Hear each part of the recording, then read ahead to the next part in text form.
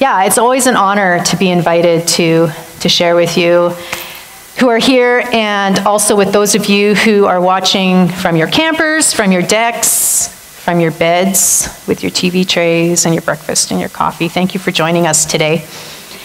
If you have any questions, feel free to message me. Um, on Facebook, you can private message me. You can message Family Worship Center on Facebook, that'll get to me. And if you prefer to email, you can email Pastor Dallas at dallas at whitecourt.church, and he will forward that on to me as well. Because if you have a question, chances are other people also have a question. And so we want to be able to answer those either privately or we'll make a short video I want to begin this morning with a story of when God really disappointed me. I met Jesus at the age of 16. I left home, and man, I was committed. I loved God. And He had changed my life fairly dramatically. I had instantly kicked a lot of habits. And one of them was smoking. I had a pack and a half, two pack a day habit. Don't ask how I supported that at the age of 16 without a job. But, you know, it was one of those things the morning after I received Christ, I went and lit up a smoke and I was like, oh, I don't need this. So I tossed them, and my friends took great glee in breaking them all up. But about two weeks later, I was living in small town Saskatchewan, and I wanted to smoke so bad. I'm telling you, so bad. So, you know, I thought to myself, what am I going to do about this? And I thought, ding ding, light bulb went on. I know what I'm going to do. I am going to go to the church, and the guy who works there will pray for me, right? It's logical. So I went hustling over to the church. Now you got to remember, I was raised in the Catholic Church, and in the Catholic Church at that time, I'm not sure if it's still the same, the churches were open 24 7, and the priest there, like, that is his life. He is there to serve. And um, not like pastors who actually have lives and families and other things that go on. So I, I knew that the, the church would be open and that pastor priest guy there, he was going to pray for me, man. So I went hustling over to the church and I get there and it was the middle of the day and I rattle on the door and it is locked. And I was like, oh, what am I going to do? So next logical thing, we'll go around and we'll check all the doors because maybe he just, you know, sleeps at the church and forgot to unlock the front door that morning. So, you know, I'm, I'm checking the doors, even that one that goes to the basement, you know, the big double, the double cellar door kind of thing. Um, I'm checking the windows. I'm looking. I'm like, hello, is anybody there? And at this point, you know, if this pastor priest guy is there, he's probably hiding under his desk somewhere, wondering who this freak is, banging on all the windows and the doors. And I, I was just like, I was devastated because nobody answered. And God had so let me down. He was not available. What am I going to do now? So, you know, I sat on the curb and, you know, I, I just, I was just starting to vibrate because I wanted that cigarette so bad. So I finally sucked it up. I went to the store, went to the mall, I bought a pack of smokes. I lit it up right in the store because you could do that then. And then I was like, oh, I can't believe I did that. I blew it. And I, you know, broke them all up and threw them in the garbage. And, you know, I just, I just felt so terrible. So, you know, later that day, um, the youth, some of the young adults that I hung out with at that time who had jobs, um, one of them was Steve, who is now my husband. I was hanging out with them and I talked to him later, and I was like, Steve, I, I, I really wanted to smoke, and I went to the church to get prayed for, and, and all the doors were locked, and all the windows were locked, and for all I know, they were calling the police because I was banging on all the doors. And I finally went to the store and I bought a cigarette and I lit it up, and then I felt really bad, and now I'm probably going to hell. And I was a, a little bit emotional, as you probably picked up on that. So, Steve, the calm and collected man that he is when I go through my slightly psychotic emotional outbursts, he does what he always does when I'm overwhelmed. And he took my hand and he says, You're not going to hell. And I can pray for you. And I was like, What? You can? Like, I thought only that pastor priest guy could. You know, see, I hadn't learned at that time that I could pray for myself and that I could even call a friend to pray for me. But most of all, I hadn't learned at that time that I had the power to act on my own behalf. and to talk to the Almighty God Jesus, who calls himself not only our Savior and Lord, but also our friend. So you're probably wondering why the Wonder Twins logo. Well, the word that came to my mind when I was getting ready for this was activate. And I know I'm probably dating myself, but I checked with my 19 year old daughter, and she said she even knew who the Wonder Twins were. So it's still a thing, or else she's just been influenced by my 80s upbringing. I would get up every Saturday morning as a little girl, wait for the TV to turn on, because it went off at like midnight. And you know, you had the bars. And then, you know, when it did come on, the national anthem would play, and my sister and I would stand up and we would sing the national anthem. And then we would watch our Saturday morning cartoons, one of which was the Wonder Twins. And you know, when the Wonder Twins got in a jam, I can't remember if they had special rings or, but they like put their fists together and they were like, Wonder Twin powers, activate. And I thought she was really cool because she could turn into any kind of a mammal. And he was less cool because he could turn into any kind of water in vapor, ice, liquid form, and that was kind of lame. But she was super cool. And so, you know, in, it kind of in my, fixes in my mind the concept of activating that power that God gives us.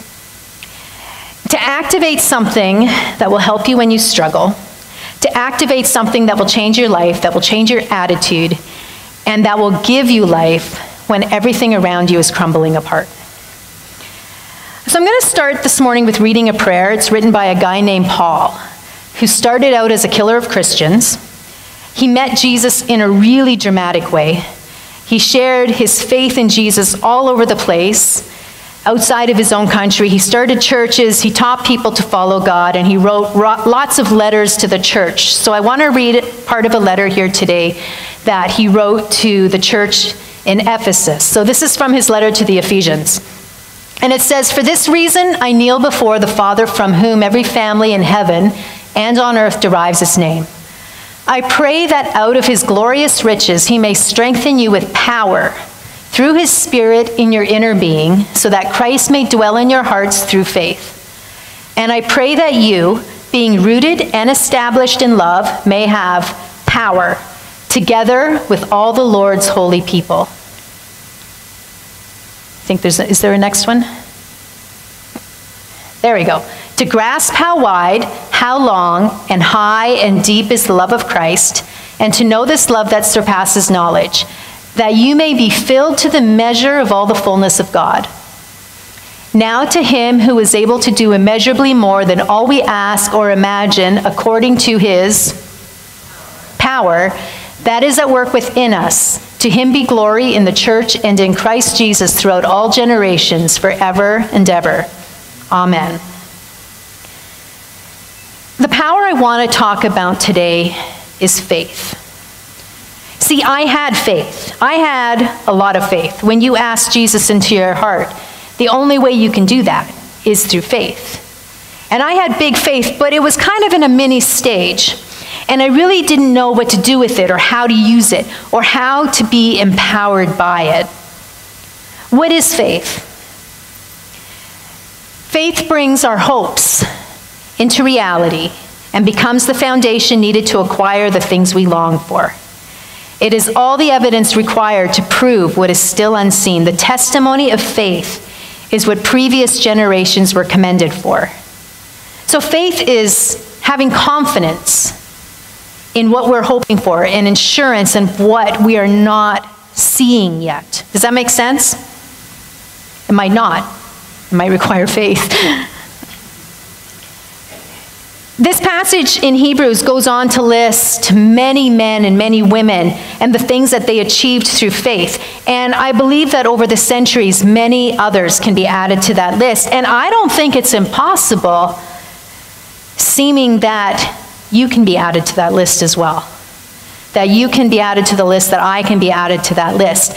And so I want to share a little bit about what we can do to better activate the power of faith in our lives um, in order to access that power to be strengthened, so we can better understand the love of God.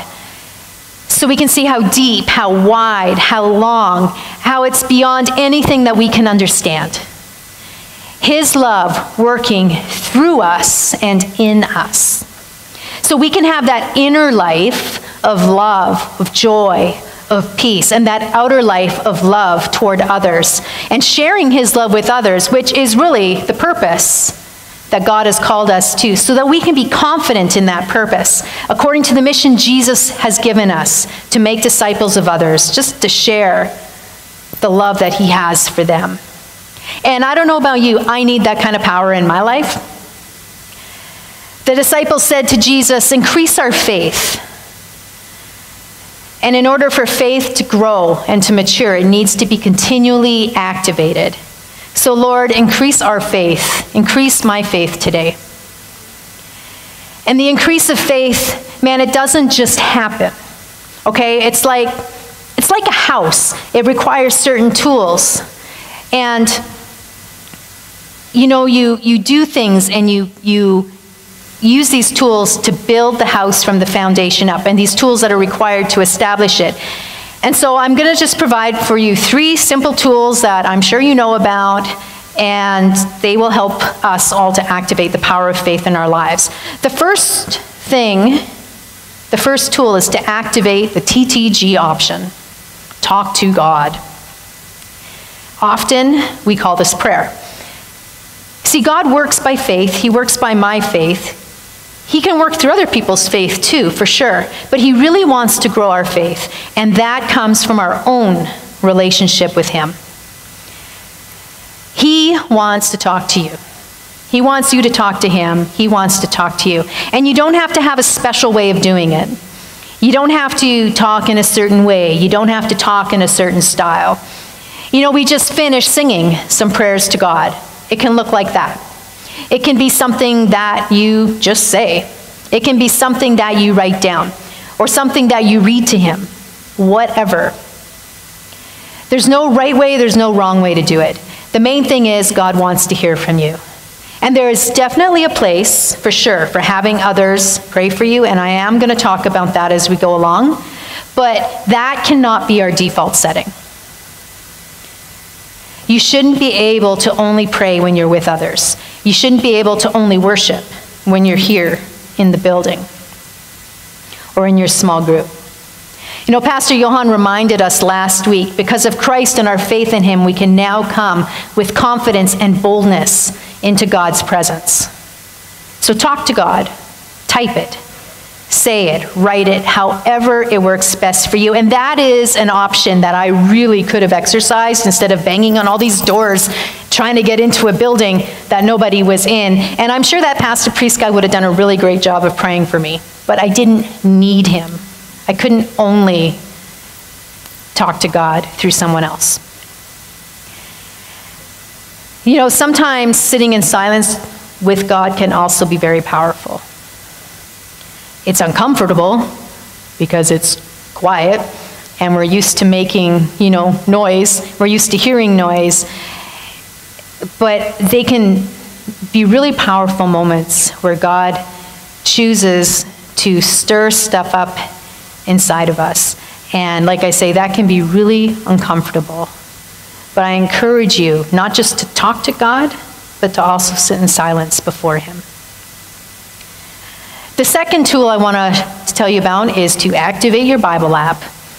You know, faith comes by hearing, hearing comes by the Word of God. In the Passion Translation, it says, Faith then is birthed in a heart that responds to God's anointed utterance of the Anointed One. See, 2,000 years ago, listening was the only way to get the Word of God right? Because God's word was read to the churches through letters and through different things.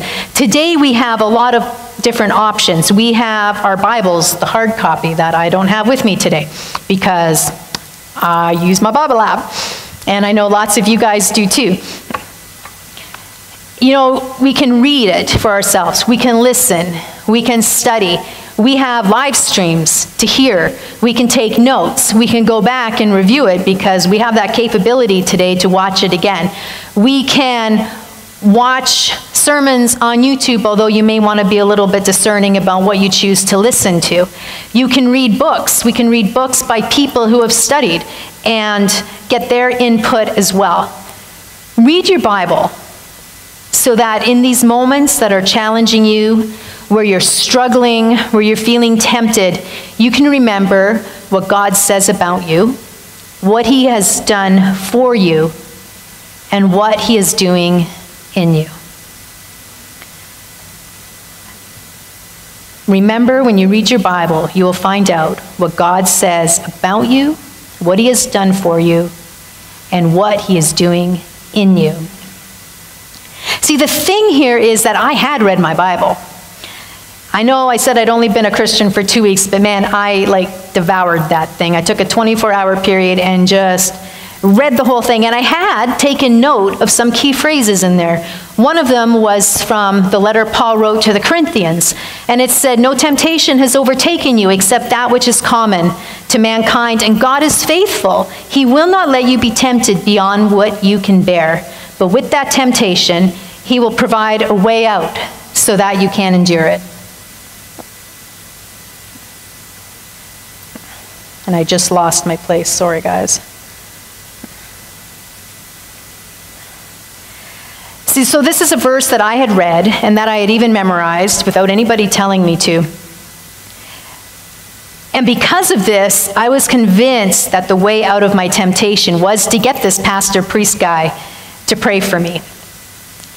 See, I didn't know, like I said, enough about my Bible to know that I could talk to God myself, that I could bring myself boldly into His presence and have that conversation about why I was feeling so tempted and so challenged in that moment. See, another way to engage with God's Word is through small groups where we can get together, where we can gather, where we can study together, where we can talk about, okay, what does this stuff that was written 2,000 years ago, like, how, what does that even mean today? Is it even relevant? And you know, the other day I was imagining if Paul was to write a letter to the church of Whitecourt, what might that look like? So it might, this is just completely me here, disclaimer, but it might look something like this Dear Church of Whitecourt, I send greetings from the warmer climates of our country. I will not be coming to visit this year. I have experienced shipwrecks and many near death experiences and have no desire to be submerged in your unusually rainy climate. he might say something like he told Timothy. However, I did want to write to you to remind you not to engage in useless debates and foolish quarrels and conspiracies that distract from the mission that Jesus has called us to to restrain from the anger and the suspicion that pervades our culture today. He might say something like he said to the Philippians I want you to understand what really matters so that you can live pure and blameless lives until Christ's return. Jesus, who gave up his majesty, his divine privileges to be rescued, he had the right to be rescued by angels on the cross, and he chose to give up those rights that were justly his. And I ask you to follow Christ's example. He might say something like, I will not tell you to wear a mask or not to wear a mask, but I do call you to walk in love toward others. He might mention what he wrote to the Corinthian church love is patient and kind. Love is not jealous or boastful or proud or rude. It does not demand its own way. It is not irritable and it keeps no record of being wrong. It does not rejoice about injustice, but instead rejoices in the truth whenever it wins out. Love never gives up, never loses faith, is always hopeful, endures through every circumstance, even in pandemics where the church should shine as a beacon of hope and kindness in a currently angry world. Those are just some of my own thoughts of what a letter to Whitecourt might look like today. The Bible is relevant, it's worth reading. And if we can activate its power through faith, we can use it to develop faith and love in our lives toward others. Use it. You can even pray it. You know, for example, um, you know, if you've never thought about how you can use the Bible in a prayer, it's just like, Lord, I pray that you help us to develop love toward others during this pandemic. Help me to walk in love that is not jealous or angry or demanding my own way. Show me how to let your love shine before others so that they might see you. You know, that's just one example. And then number three, activate your phone a friend option.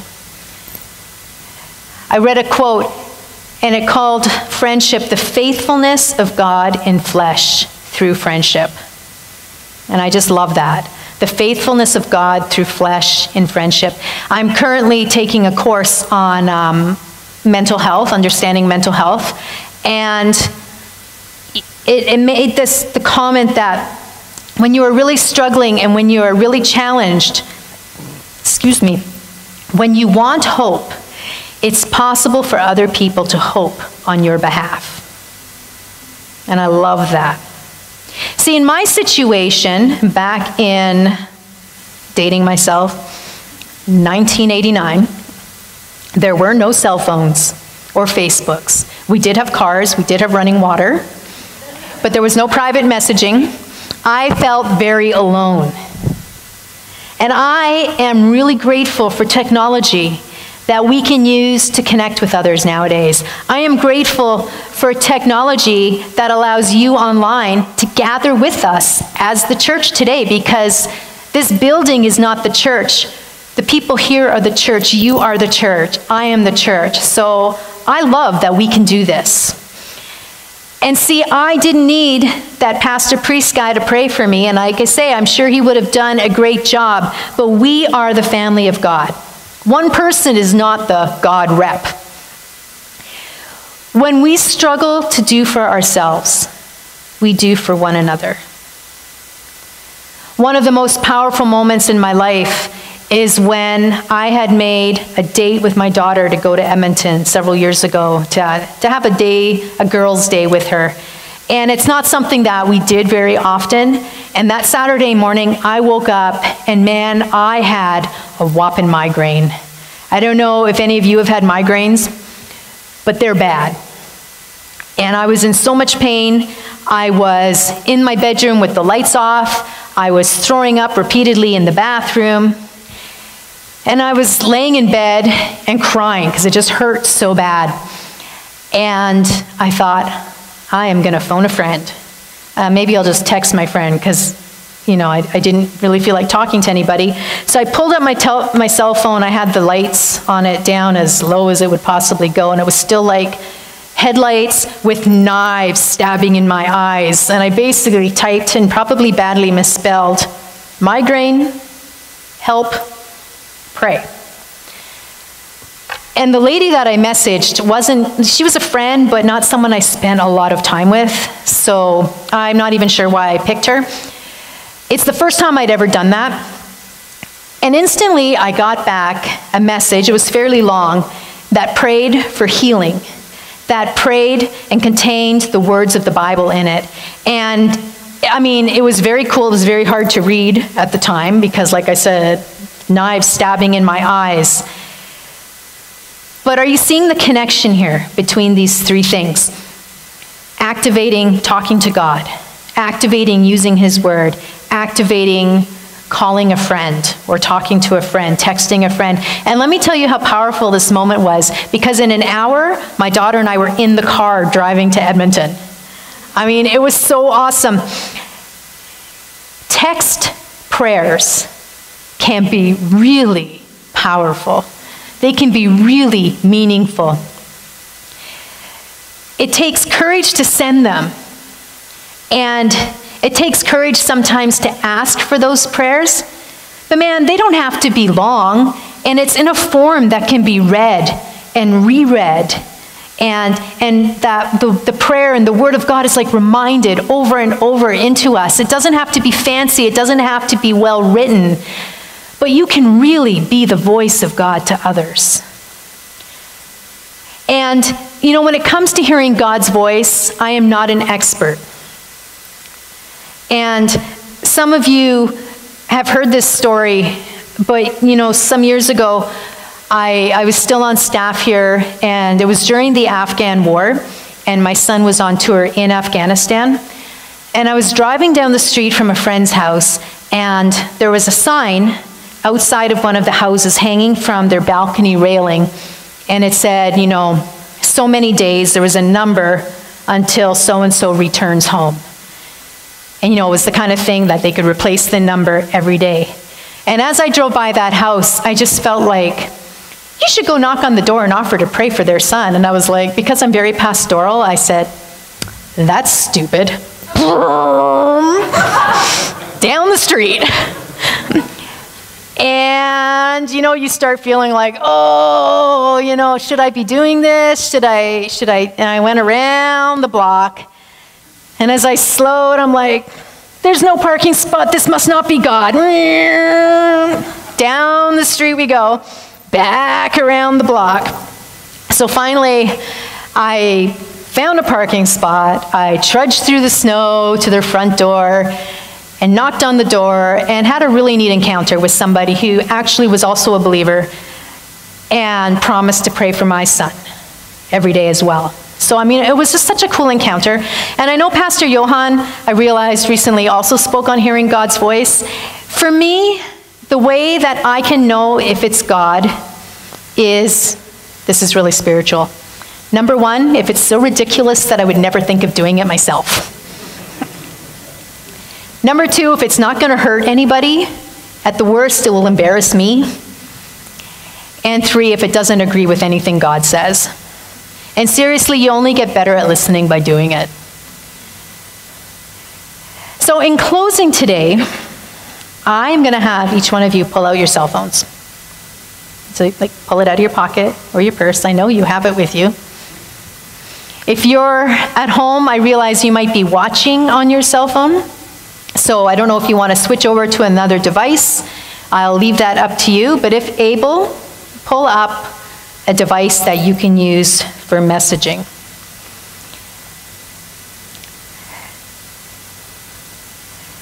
Take a moment and close your eyes.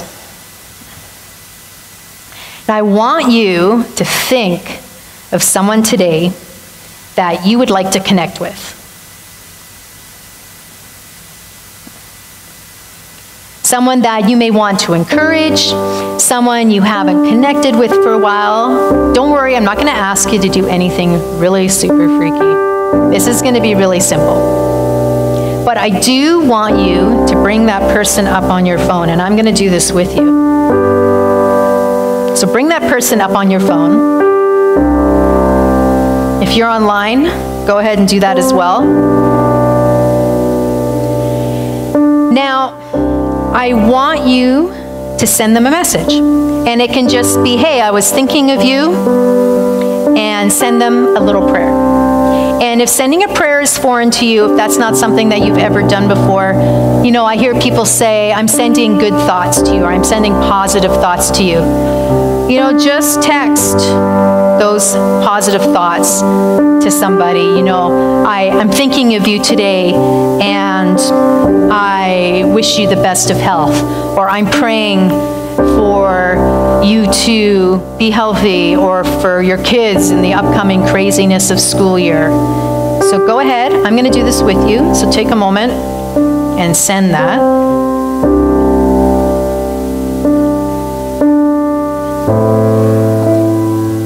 Got it? Was that too fast?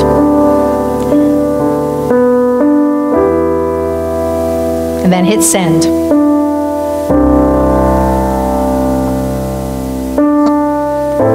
Maybe some of you will get messages. That would be awesome.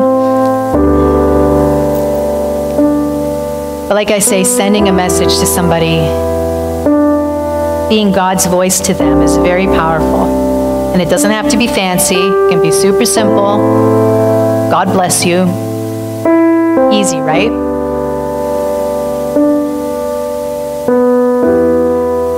I know some of you are still doing this.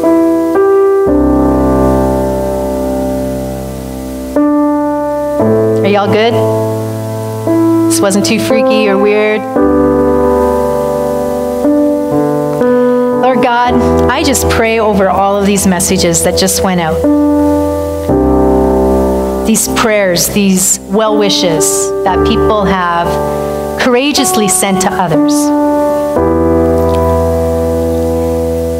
Lord, I pray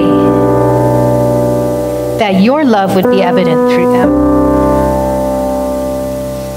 And Lord, I thank you for each person that is present, for each person that is online that has sent these messages. Lord, let it be an expression of your love to the receiver. And Lord, I realize that the stuff said today was pretty basic, pretty simple.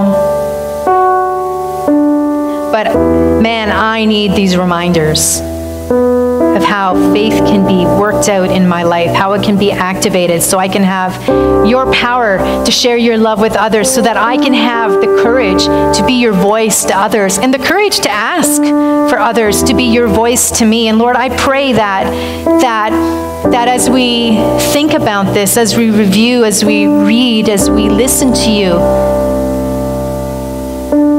that you would give each one the courage to do this and to be this.